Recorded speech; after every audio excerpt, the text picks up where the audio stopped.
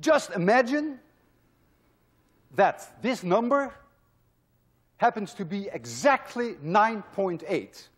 I can always do that. Where is this person going to get the push or the pull from for this centripetal acceleration?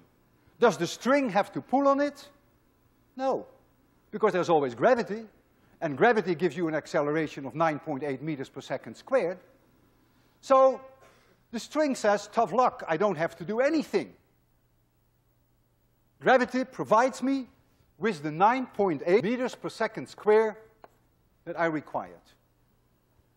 Now, I'm going to swing you faster.